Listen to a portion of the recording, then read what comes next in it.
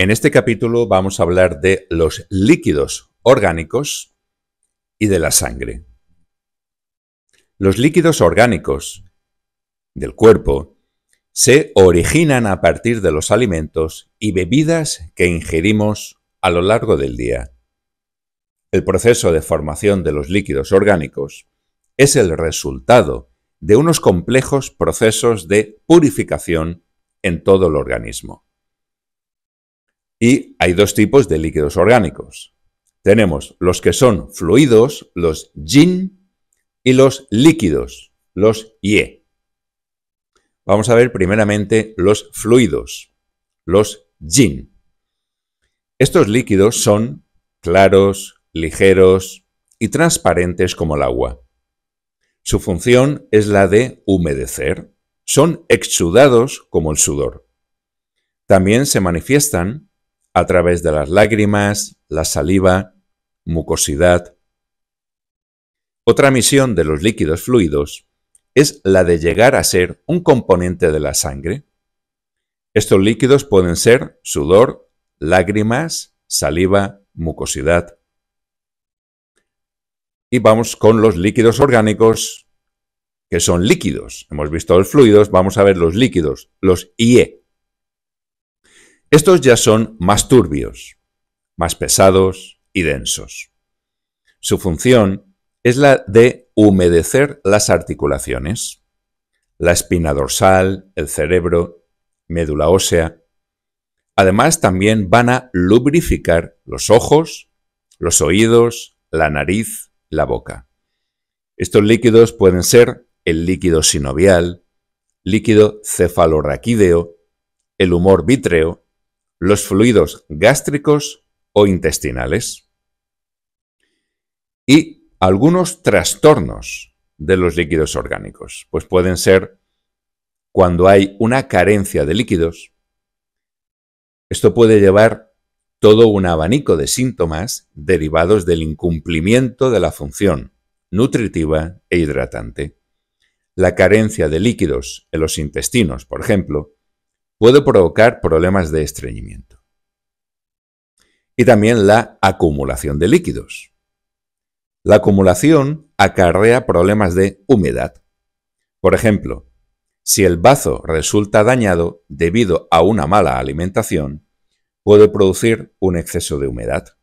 Esto puede generar letargo, sensación de pesadez, enlentecimiento y también obsesión.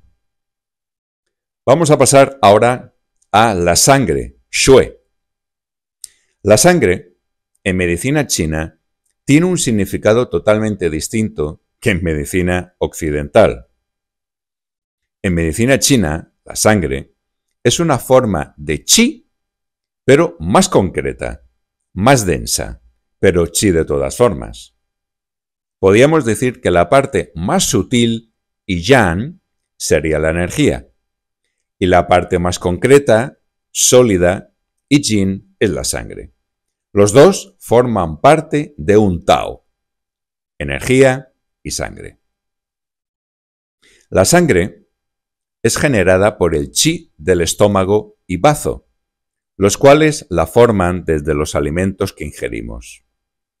Y también es formada, como no, por el riñón a través de la médula ósea.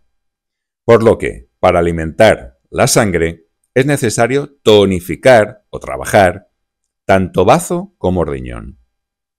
La sangre es una forma densa de chi y fluye con él por todo el cuerpo, algunas de las funciones de la sangre.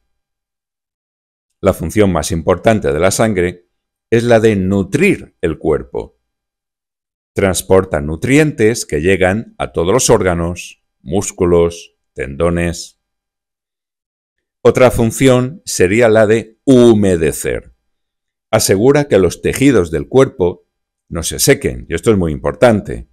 En el caso de la madera, la sangre del hígado se encarga de nutrir y humedecer los tendones y los ojos. La sangre del corazón humedece la lengua. Otra función de la sangre, según los textos de la tradición, dice que ésta ayuda a fijar la mente y favorece el desarrollo de los procesos de pensamiento claros y estables. Una persona que presente una carencia sanguínea puede tener, por ejemplo, propensión a la irritabilidad y a la ansiedad, debido a que la sangre no fija la mente de forma adecuada. Hay algunas relaciones básicas entre el chi y el sue, es decir, vamos a ver algunas relaciones entre la energía y la sangre. El chi genera la sangre. Puesto que el chi de los alimentos es la base de la sangre, por lo que si el chi es insuficiente, al final la sangre que depende de él también lo será. Muchas veces hay que tonificar el chi para problemas de sangre. Otra, el chi moviliza a la sangre. Sin el chi, la sangre sería una sustancia inerte. El chi de pulmón, por ejemplo, es quien infunde el chi necesario para impulsarla en los vasos sanguíneos, además del bombeo del corazón.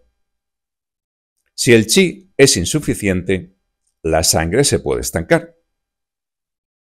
Otra de las funciones del chi, especialmente del chi de bazo, es la de mantener la sangre en los vasos y que no se derrame. Es propensas, por ejemplo, hemorragias. Cuando pasa esto, hay que tonificar el bazo. Si el chi genera la sangre, la sangre nutre el chi. Quiere decirse que proporciona, digamos, una base sólida para que de alguna forma el chi no flote de lo sutil que es. Es decir, que lo mantiene. Vamos a ver un par de trastornos que pueden ocurrir en la sangre.